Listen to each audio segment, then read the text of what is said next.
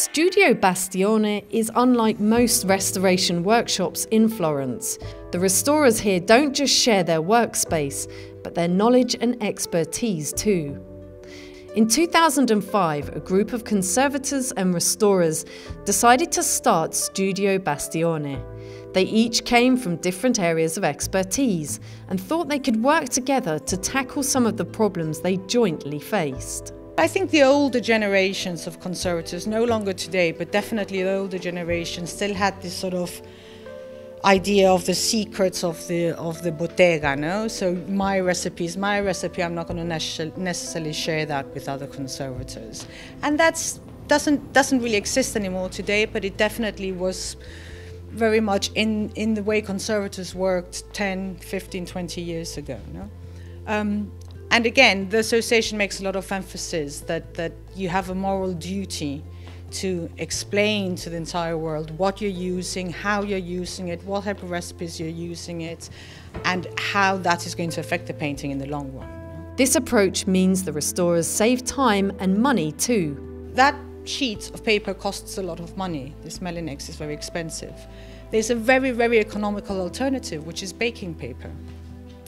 So one conservator told another conservator in here, and the next thing we knew is that no one in the association knew that you could, instead of spending 50 euros for a couple of meters of Melinex, you could spend 50 cents for a couple of meters of baking powder or baking paper. In a studio like this, you would expect most of the works being restored are pretty old, but that's not the case because many of the commissions are for contemporary art lots of contemporary artists want their object to deteriorate because the deterioration process is part of the expression of the object.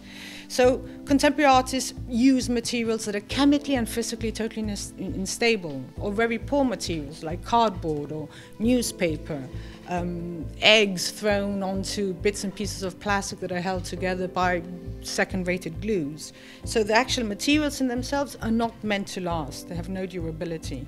The intention is not necessarily for those materials to last, but of course what happens is that the owner of an object of contemporary art that has paid a lot of money for it wants that object to last. The association has formed a subgroup specialising in contemporary art pieces and the problems faced restoring it when an object comes in and it's multi-material, so there's paper, there's plastic, there's canvas, there's oil, the paper conservator, the person involved in plastics, the person involved in oil, they can all join up to try to address the problem.